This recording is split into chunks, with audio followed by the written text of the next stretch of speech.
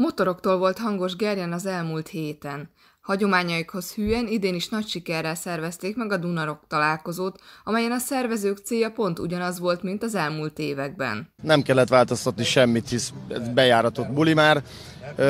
Koncepció az, hogy jó idő legyen, az a koncepció, hogy sok ember ide látogasson, illetve hogy olyan zenekarokat tudjunk palettára tenni, akik tényleg az országban mindenhol ismertek, és hogy minél több vendéget tudnak hozni. Meg egyáltalán a buli a lényeg, tehát hogy jó legyen itt mindenkinek, a, jól érezze magát.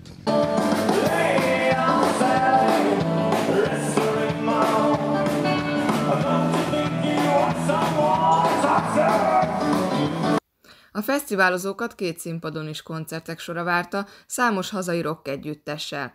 Fellépett például a Road zenekar, a fiatal feltörekvő banda a Madfield, a Reckless Roses pedig a Guns N' Roses hangulatát idézte meg. A fesztivál csúcspontja a szombatesti tankcsapda koncert volt, amelyre megtelt a rendezvénytér. A találkozó során Trabant Wartburg bemutató volt, napközben a crosspályát használók verték fel az út porát, de a driftelő autók hangja is jelezte a programok változatosságát. A több napra sátrakkal érkezőket zuhanyzó mosdó és büfé várta. A körülmények adottak voltak, hogy jó hangulatban töltsék el idejüket a rockzene rajongói.